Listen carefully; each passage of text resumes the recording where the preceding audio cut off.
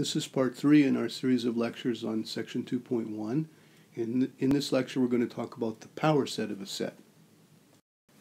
Here's the definition. If A is any subset of some universal set U, then the power set is the set consisting of all of the subsets of A. And we use this notation to denote the power set. It's a script P um, of A.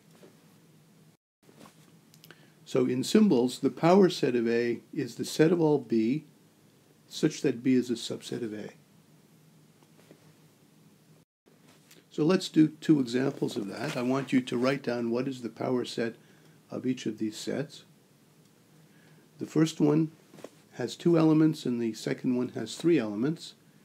And um, when you write your answer, uh, observe how many elements are in the power set that you get. And when you write your power set, I want you to pay very, very careful attention to the style that you use when you write it. I want you to write your power sets using listing notation. So be sure to use correct listing notation.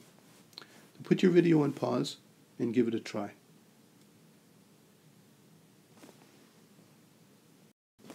So here's the answer to the first one.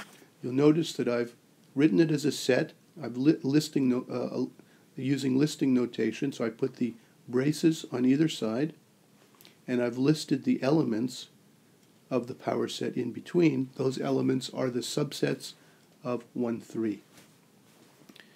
Remember that the empty set is a subset of any set. These two represent the subsets consisting of a single element.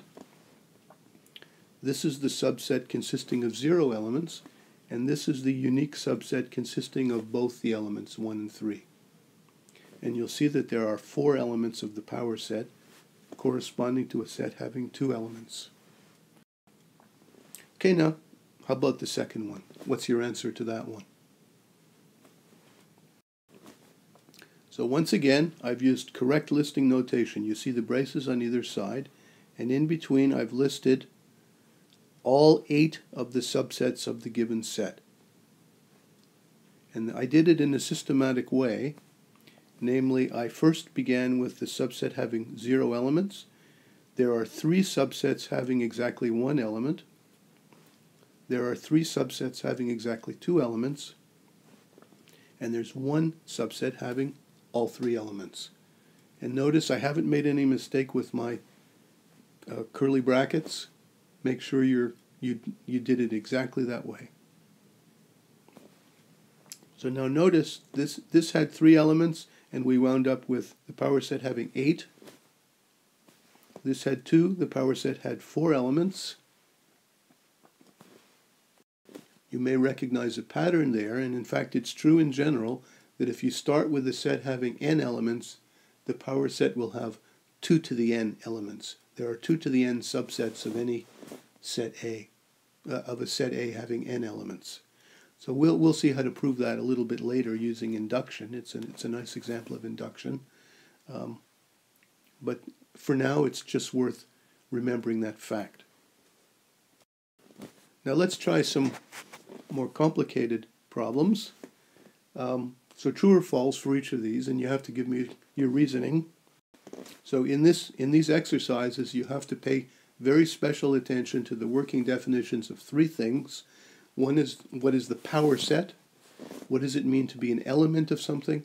And what does it mean to be a subset of something? You really have to be very clear um, on the, the meanings of those things. So is it true or false that this is an element of the power set? So what would that mean? Well, to be an element of the power set, it would mean that it is a subset of that set. So we have to ask, is this a subset of this? And that would mean that every element of this is an element of this.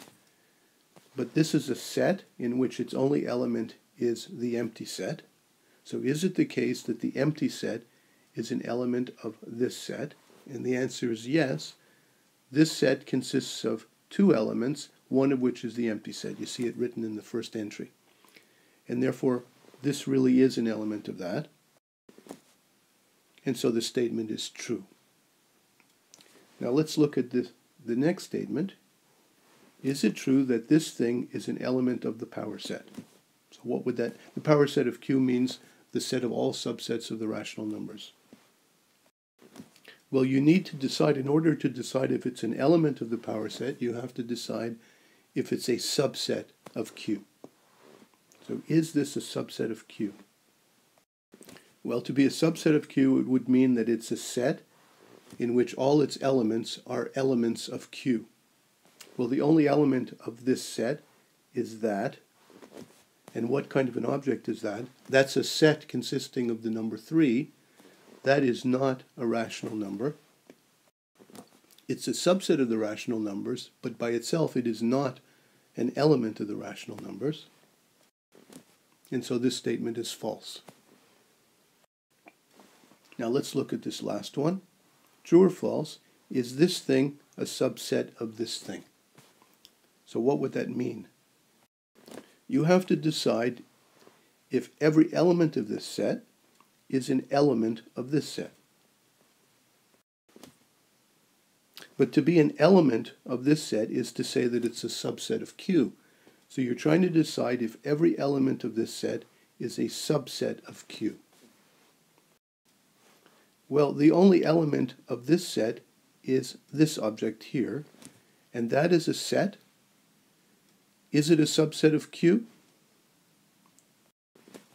Yes, this is a set. Its only element is the number 3. 3 is an element of the rationals. Therefore, this is a subset of Q, and so the statement is true.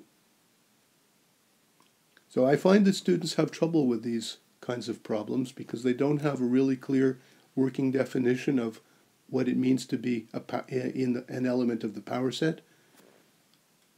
Also, the notion of one set or one element, one object being an element of another set, and also the idea of one set being a subset of the other set.